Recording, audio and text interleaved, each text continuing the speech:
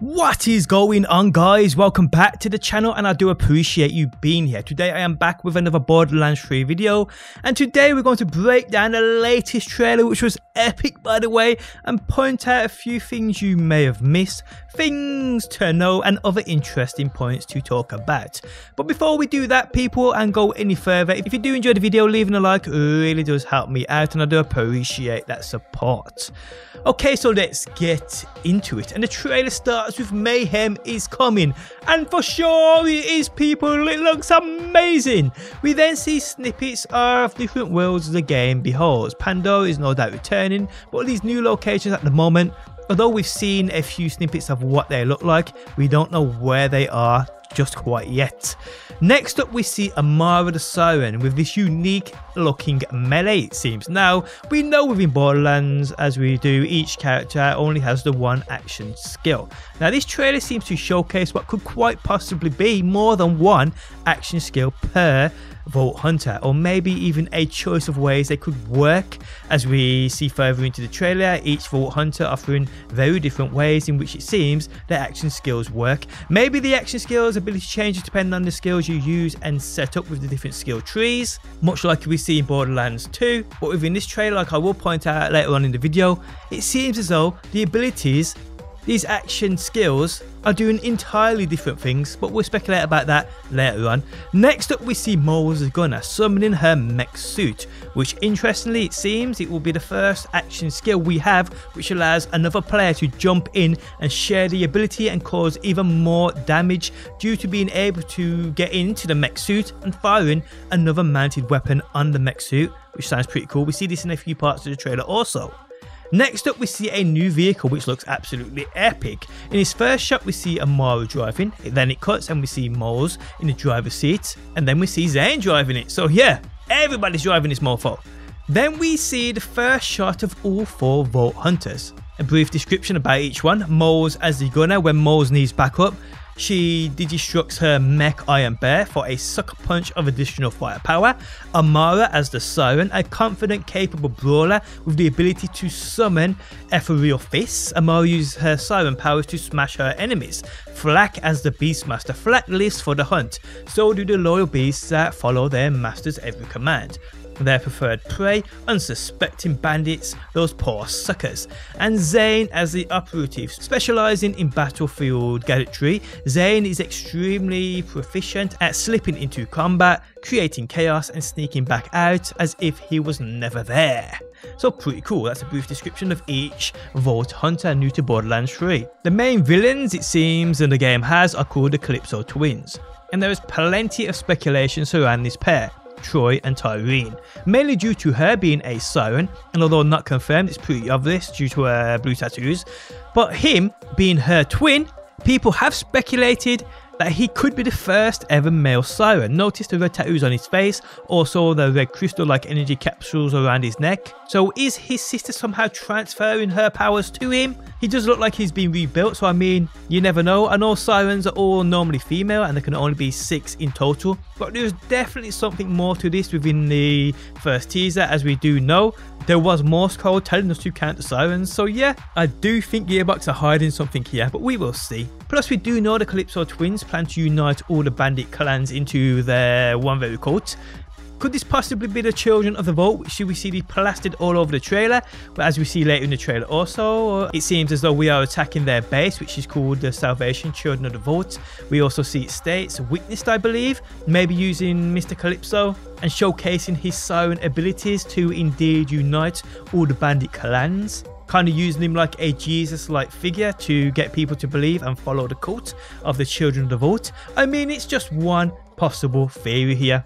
Moving on, and we see this epic looking robot, and as we see by the M on its shoulder, it is no doubt created by Maliwan, a weapons manufacturer of Pandora. This I believe will be a boss later on in the game. Later on in the trailer I do believe we see us in battle with it.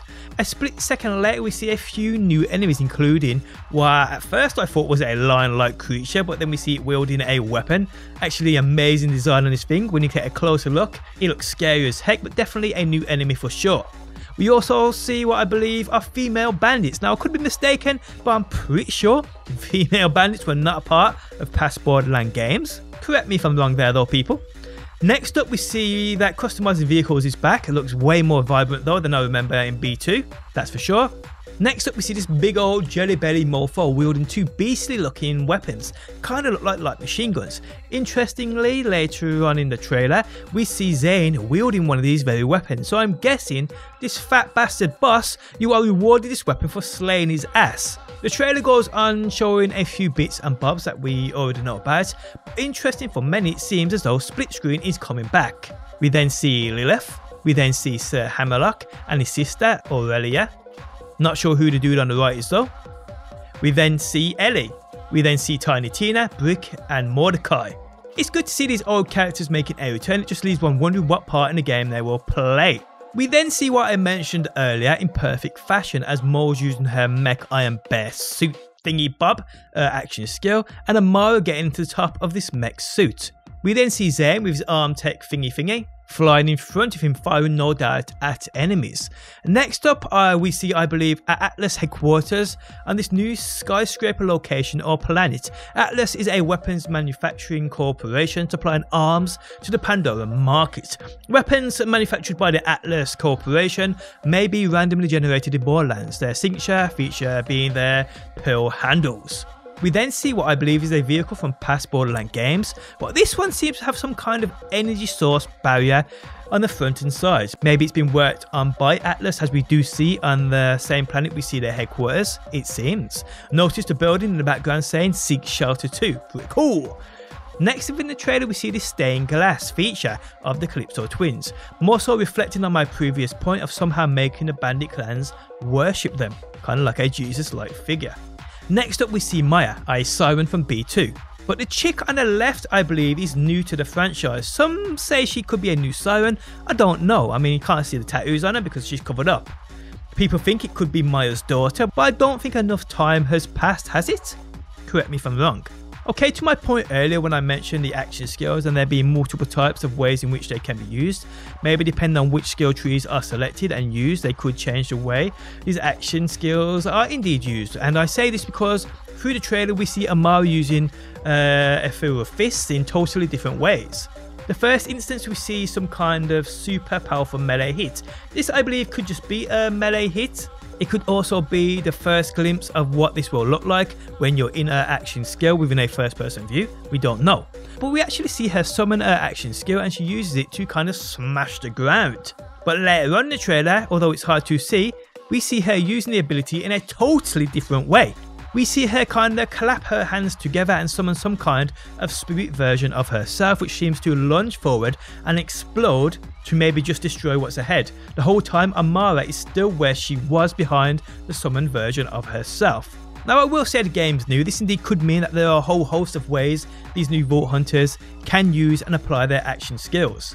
I mean, once Amara summons her action skill, it may just be able to be used in different ways. I just love that idea though, there being multiple ways of said abilities being utilised. Also we see Flak who is the Beastmaster and it states to his loyal beasts. So does this mean he can command more than one beast? In the trailer we see one of his loyal beasts, but later on it seems also that he may be in control or command of a flying beast as we see them flying along the Vault Hunters. Now these could be new and improved versions of the Rakks or just a new flying creature to the game, I don't know. But if you look at it in slow motion, it does seem as though they are flying alongside the four Vault Hunters. We just don't know, but if these are low to his command, it adds to the point of there being more ways to utilise those action skills, meaning different beasts for Flak to command. Sounds cool to me, people. But yeah guys, the trailer is full of secrets, no doubt. Loads of missed also, and if you do spot one which I haven't covered, let me know down below within that comment section. I just wanted to do a little breakdown video of things you may have missed. But I know a lot of you people are eagle-eyed bastards like me and not missed a single thing. But if you have, like I said, found something I haven't mentioned within the video, let me know what it is down below in that comment section. Also letting me know what you think it could mean too. But guys, on that note, we have come to the end of the video. If you guys enjoyed it, leaving a like really does help out. If you're new around here and this is what you want to see more of, be sure to subscribe. And if you never want to miss a video I upload, you can turn notifications on by hitting that bell button. But guys, thanks as always for stopping by. Hopefully you enjoyed the video and hopefully I will see you on that next one.